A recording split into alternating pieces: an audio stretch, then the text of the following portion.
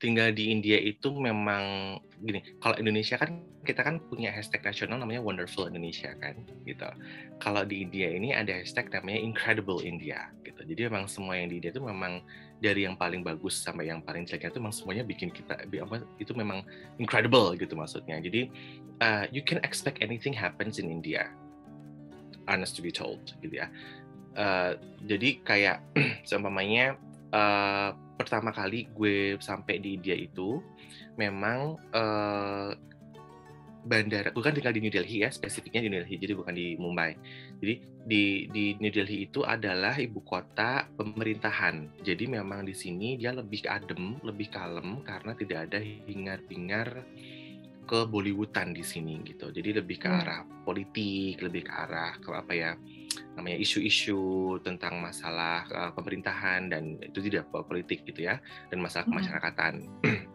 Terus kalau sebenarnya kita juga perlu tahu bahwa yang namanya ibu kota teknologi itu di Bangalore. Jadi yang uh, apa uh, Silicon Valley-nya di sana gitu ya. Nah, kalau Mumbai itu di Bollywood, which is Delhi sama Bollywood sama Mumbai itu jauhnya minta ampun. Di bawah gitu, di barat gitu. Sementara kita di utara gitu. Jadi um, walaupun banyak artis-artis Bollywood yang aslinya di Delhi, bahkan Amitabh Bachchan tuh alma maternya di tempat gue di Delhi University, tapi terus kemudian uh, mereka kemudian banyak terus kemudian lari ke selatan. Jadi uh, apa ya? Yang awal gue pikir, wah ini tuh pasti gini-gini tak tundang-tundang-tundang, enggak ada gitu. Jadi ya udah gitu tenang aja. Tapi memang iya lagu-lagu India lagu-lagu yang khas yang yang seperti itu maksudnya dengan tabla dan lain sebagainya itu memang di mana-mana dan itu sangat populer dan sangat digemari dan bahkan paling digemari. Jadi ibarat kalau kita orang Indonesia kita sampai Indonesia tuh bukan bukan dengar lagunya Pamungkas bukan lagu dengar lagunya siapa namanya Selaon Seven tapi kita dengar lagunya tuh bener yang lagunya siapa namanya um, ah, siapa sih artis dangdut yang gue tahu Cici Paramida, Evita Mala gitu-gitu loh. Jadi benar yang kita tuh yang menyukai lagu lokal yang berbahasa India dan yang Bollywood gitu istilahnya yang yang yang benar ada tablaknya yang ada dangdutnya gitu maksudnya jadi mm-hmm. uh, memang kehidupan itu ada dan mereka sangat proud dan mereka sangat suka sekali dengan lagu-lagu seperti itu jadi lagu-lagu asing yang kayak yang kita dengar ya kan kita kan western banget nih kayak lagunya Westlife mm-hmm. legal banget gua jadi lagu lagu yang lagu asing yang bahasa Inggris tuh gue jarang dengar sama rakyat-rakyat yang ada di situ gitu maksudnya yang ada di sekitar situ gitu yeah. dan pertama kali datang ke Indonesia tempatnya itu bagus banget apa airportnya itu bagus banget. Jadi bener-bener sangat wih, rapi bersih gitu oh oke okay, alhamdulillah ya. Jadi dari sini bagus banget. Beberapa kilometer kemudian. Langsung tuh udah ada oh ada sampah di situ ada orang ee di situ dan sebagainya. Yes What? ada orang ee gitu. yes. Di jalan. Dan di jalan pipis di tembok terus kemudian gitu, -gitu deh ada tukang jajanan pasar masa yang pakai panci pen besar tuh terus kemudian hmm, dia bikin ya. ban gitu-gitu kan apa? ikan, jalebi. apa, apa jalebi. Seorang makan sirih tuh sirihnya tuh dia kayak apa sih bulat-bulat gitu terus kemudian dia keras keras keras keras keras beli cuy gitu yang udah warna merah kental gitu yang enggak dan it's everywhere. It's everywhere literally everywhere. Dan lo sebagai orang pertama tuh yang lihat itu gitu yang yang yang yang geli gitu loh. Gimana sih? Kan kan, kan jorok ya gitu. Jadi uh, it's there gitu. Nah terus kemudian gue memasuki daerah diplomatik karena gue uh, apa namanya waktu itu pertama kali sampai di sini memang alhamdulillah alhamdulillah gue ada kenalan orang KBRI dan kemudian jadi gue bisa tinggal di situ waktu itu 2013 ya terus kemudian uh, gue masuk area diplomatik itu udah bagus lagi itu daerahnya. Udah udah nggak ada kotoran lagi nggak ada sampah macam-macam nggak ada bersih lagi. Jadi memang ada daerah-daerah tertentu yang memang dia jorok hmm. dan ada memang daerah beberapa tertentu yang memang bagus banget maintenance-nya gitu. Bahkan taman-taman di India tuh banyak banget dan memang taman yang segede gaban dan cenderung simetris itu dengan maksud dengan pohonnya simetris apanya simetris gitu kan ya. Jadi hmm. sungai simetris pohon pohonnya tuh rata gitu yang sana tiga sana tiga sana tiga sana tiga gitu. Itu tuh memang sudah culture-nya di di di, di India sini gitu. Sementara kan kalau di kita kan taman kan eh, bukan budaya gitu. Karena kalau mereka tuh setiap palace setiap istana itu pasti ada taman yang surga gaban gitu. Makanya setiap hmm. daerah pasti ada.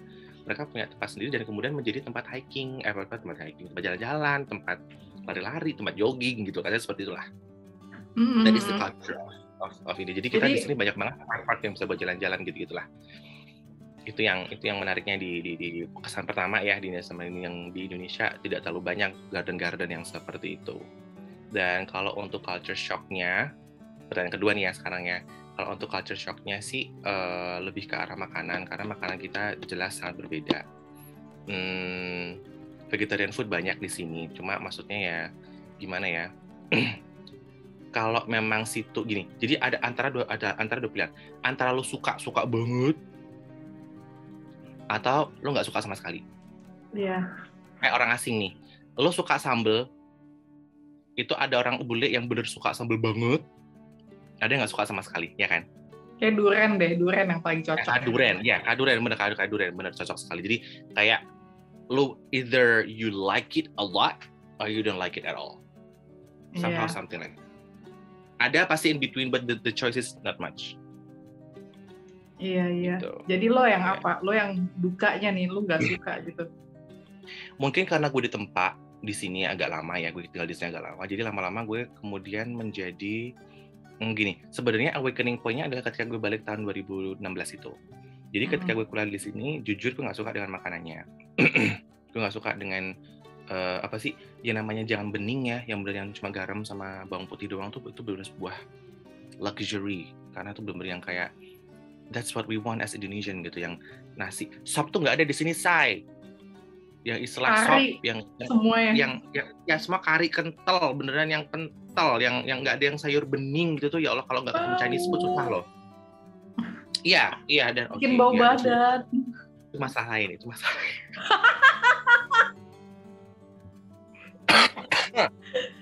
Mohon maaf. Jadi memang karena gini yang namanya salad itu bawang merah ses. You bayang you, you bayangin salad itu bawang merah dan memang bawang merah itu manis. Jadi aku juga nggak menyalahkan juga kalau mereka kok kok bau bawang ya mereka di sini gitu. Tapi memang mereka tuh suka banget sama bawang dan memang bawang itu ada di salad mereka di setiap makanan mereka gitu. Apalagi kalau memang kita makan makanan kari kalau sama bawang merah itu memang enak banget dan memang crunchy banget gitu maksudnya seger gitu maksudnya. Ada ada sesuatu yang mengurangi keenakan gitu. Dan dia di sini menjadi sebuah tren di mana setiap makanan mugal makanan yang ada istilah Islamnya yang daging-daging yang kambing-kambing yang maten-maten itu biasanya ada si bawang merahnya ini untuk bisa apa ya sebagai saladnya sebagai pendamping kita kan timun ya ses makan lele sama timun gitu kan. Sambel apalah kalau mereka tuh itu sama si bawang merah ini biasanya sebagai saladnya. ya. Kalau untuk masalah cuaca cuaca di India itu ada empat. Terutama yang di New Hmm. Delhi ya di New Delhi ya. Ini ini Semua. versi jujur-jujuran ya versi jujur-jujuran. Kalau di selatan sih mostly tropis nggak nggak begitu banyak macam-macam. Cuma kalau yang di utara nih Delhi Punjab eh, Uttarakhand gitu gitu ya north eh, northeastern part jadi kayak bangsa apa tuh? Bangsa si hmm, Sikkim Manipur gitu-gitu ya Mhm. itu yang poin di atas Jammu Kashmir eh, kalau Jammu Kashmir sih empat musim pretty much tapi kalau yang di area Nanggung nih kan dan sebagainya itu ada empat musim Mhm. menurut aku, menurut aku pribadi ya sebagai orang Indonesia. Jadi ini bukan bukan secara ilmiah gitu ya istilahnya ya. Di Delhi Iya. kalau secara ilmiah National Geography ya ada empat musim. Cuma kalau cara gua, secara gua pribadi itu ada satu musim panas. Yang kedua musim panas banget. Terus musim dingin. Terus musim dingin banget. Jadi empat itu udah.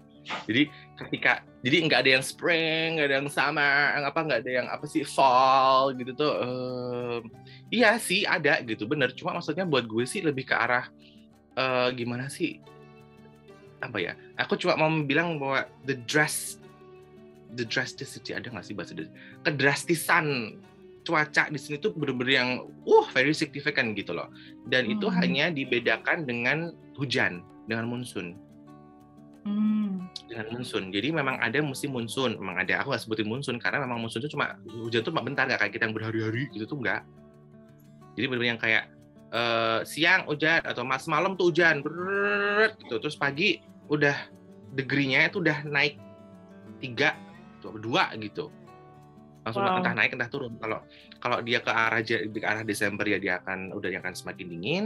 Tapi kalau dari Januari ke arah tengah tahun ke arah Mei Juni gitu ya dia akan semakin panas gitu. Jadi Mm-mm. pokoknya kalau lo hujan ya berarti oke itu berarti akan ada perubahan cuaca gitu. Tergantung ke arah mananya. Jadi kalau sekarang nih kalau ada hujan waduh udah berarti semakin mau memanas nih gitu ketika waktu datang ini tuh bener shock banget gitu. Nggak yang kayak Australia nyaman gitu ya Amerika nyaman gitu dengan segala public transportationnya kebersihannya gitu makanannya ruangnya yang bersih dan sebagainya gitu kan. Di India Iya. wuhu! Itu roller coaster beneran sumpah. Jadi semua banyak culture shock yang uh, bukan orang-orang yang kemudian jahat gitu enggak tapi justru kekumuhan in a way gitu kekumuhan yang karena gue kan bukan yang di tempat yang eksklusif gitu kan gue di tempat yang Mm-mm. emang orang umum di situ jadi ada tukang becak ada orang jualan toko di pinggir jalan yang bener-bener orang tuh apa namanya spitting spitting sirih tau kan yang merah-merah tuh spitting kalau Mm-mm. kalau di kita kan nenek-nenek biasanya yang yang makan sirih ini Mm. mas-mas bo gitu. Dan jangan salah orang orang gitu juga ada yang pakai Audi. Jadi buka pintu ini Audinya tuh kenceng uh, uh, uh, Audi bagus banget tuh. Jaguar apa gitu kan. Jadi yang wow gitu. Pokoknya mobilnya bagus apalagi New Delhi ya. Buka pintu tuh dia cuih gitu. Warnanya merah gitu. Apa kita Oh nggak my muntah Iya, jadi kalau kalau masalah trauma di India pertama kali New Delhi ya terutama itu tuh benar-benar yang oh those kind of experience are shock for us. Jadi tiga bulan pertama tuh gue bener-bener yang kayak oh my god, gue di gue, gue lagi di mana sih gitu maksudnya yang kok segini amat ya ini negara gitu. Itu jujur sebenarnya terjadi sama aku tiga bulan pertama. Mhm.